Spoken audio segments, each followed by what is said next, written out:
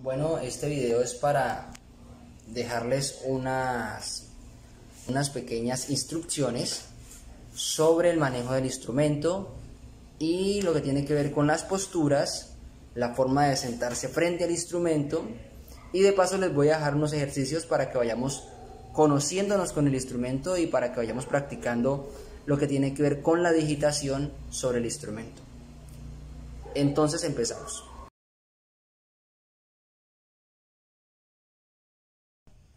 Primero que todo vamos a enumerar los dedos de las manos.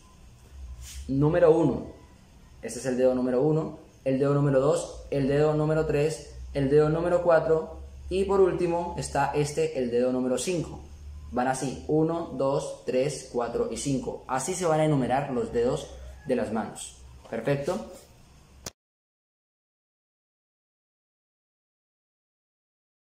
Vamos a hablar de la postura al momento de sentarnos en el instrumento. Lo primero que tenemos que entender es que tenemos que sentarnos derechos, no encorvándonos, sino manteniendo una postura derecha frente al instrumento. Las piernas las vamos a abrir más o menos a la altura de los hombros, o sea, así, que queden las piernas relajadas.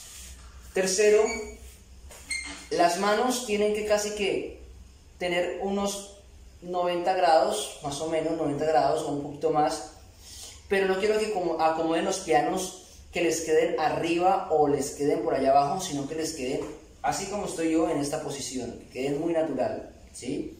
Eso es lo que tiene que ver con la postura, es muy importante.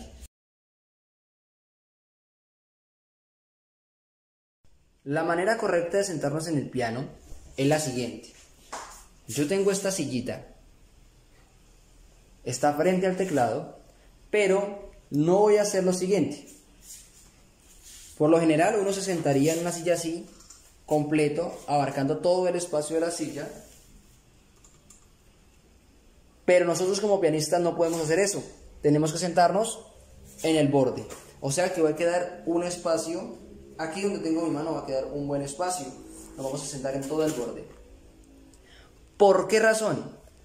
Cuando estemos tocando el piano y tengamos que movernos de un lado al otro, por ejemplo, que esté aquí en estas teclas de abajo y necesite subirlas de aquí, necesito poderme balancear en mis glúteos para poder alcanzar esas notas. Entonces es muy importante y es una técnica que hay que desarrollar desde ya, aprendernos a sentar bien.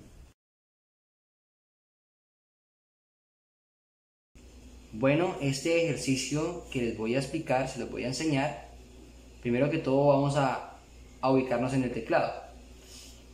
Para los que todavía no conocen el teclado, pues vamos a contar hasta 8, partiendo de esta tecla que está aquí. 1, 2, 3, 4, 5, 6, 7 y 8. Tan pronto lleguemos al 8 vamos a ubicar el dedo número 5 de la mano izquierda y ubicamos posteriormente el dedo 4 en el siguiente, el 3 en el siguiente, el 2 en el siguiente y el 1 en el siguiente. Van a quedar así los dedos sin presionar el teclado, van a quedar ahí encimita. Y después vamos a contar, después de este dedo vamos a contar otros dos, 1, 2 y colocamos el dedo en esta siguiente tecla. Y ubicamos los dedos como lo hicimos con la mano izquierda. Y van a quedar así. Vamos a hacer el siguiente ejercicio va a ser muy sencillo vamos a empezar con el dedo número 5 hacia el dedo número 1 de la mano izquierda otra vez Ahora lo hacemos con la mano derecha. Otra vez. Perfecto. Ahora lo vamos a hacer con las dos manos.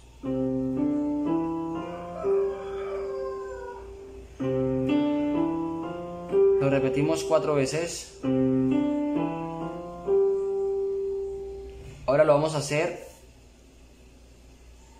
así.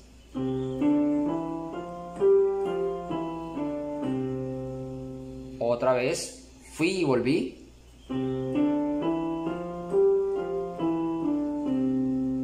Entonces lo practican hasta que lo puedan hacer con las dos manos Pueden pausar el video y hacerlo por partes. La idea es que lo podamos hacer cada vez con más velocidad.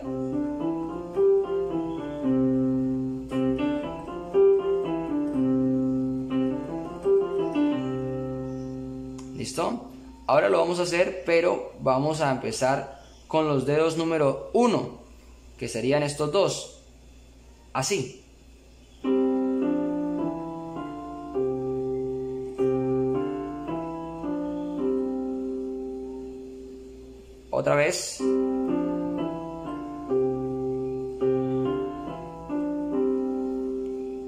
Lo vamos a hacer hasta que lo podamos hacer más rápido.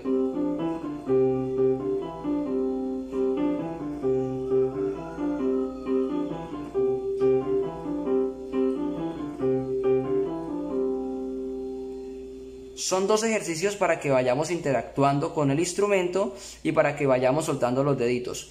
Lo pueden hacer muy despacio y a medida que ustedes vayan sintiendo el avance, lo van haciendo más rápido. ¿Listo?